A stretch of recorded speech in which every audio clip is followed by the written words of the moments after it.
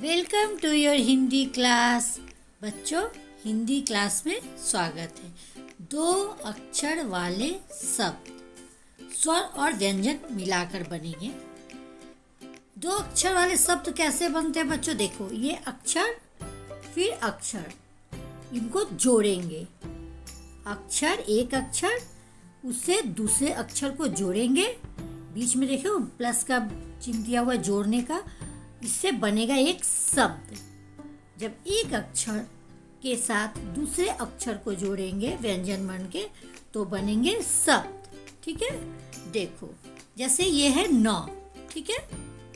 नौ के साथ ल। इसको क्या कर देंगे? दोनों अक्षरों को हम जोड़ देंगे प्लस कर देंगे। इन दोनों को जोड़ेंगे तो कौन सा अक्षर बन गया बताओ? कौन सा शब्द बना? न, ल। नल। न ल नल ये है हमारा नल। तो दो अक्षरों को जोड़कर क्या बना? नल। ठीक है? नल अब कॉपी में लिखेंगे। जैसे सी डब्ल्यू और डेट सबसे पहले। और नल नल नल। हम तीन बार दो लाइनों के बीच में लिखेंगे और वही मेंटेन करते वही लाइन को सीधी तरह से पूरा पेज लिखेंगे पूरा पन्ना लिखेंगे।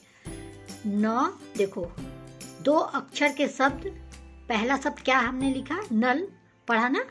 न अल्लाह